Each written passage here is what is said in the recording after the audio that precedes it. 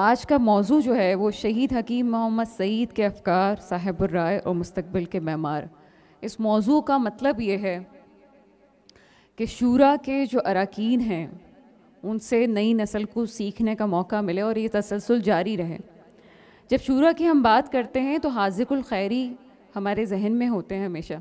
हाजिकुल खैरी साहब का मेरा भी साथ रहा, बहुत कम साथ रहा, लेकिन एक बहुत खूबसूरत इंसान और हकीम साहब की तरह ही बात करते थे और असूल के बहुत पक्के थे। रिजवान साहब मेरे साथ मौजूद हैं जो हमारे शुरा के मेंबर भी हैं। मैं चाहूँगी कि मुख्तसर अपने ख्याल का इजहार करें।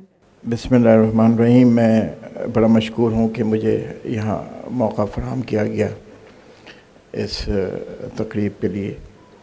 आ, मैं क्योंकि एक सिविल सर्वेंट था मैं मेरी पंजाब में पोस्टिंग थी लेकिन मैं फिर वापस आ गया था सिंध में।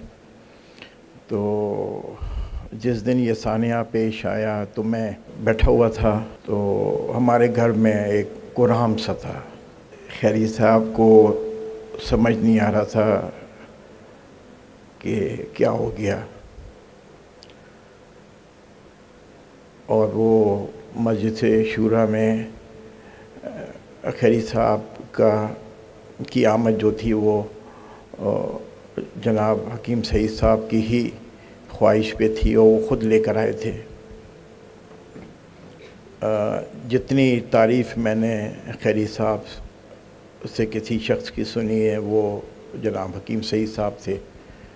और उठते बैठते वो मतलब है जब कभी भी कोई बात होती थी तो बहुत ही इज़्ज़त से और बड़ी उनकी उनकी तबीयत में जो है ना वो मलाल आ जाता था, जिस वक्त उनका ज़िक्र वो करते थे उनकी शहादत के बाद।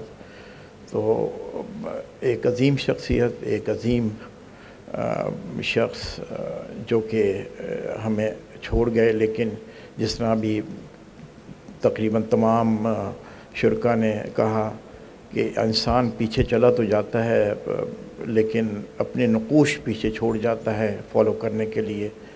तो ये वो, जिस तरह हजीब साहब ने कहा कि ये वो सजदों के निशान हैं, जिसकी पैरवी अभी हम सब लोग कर रहे हैं इन आने वाली नस्लें भी करेंगे। जजाकल्ला खैर।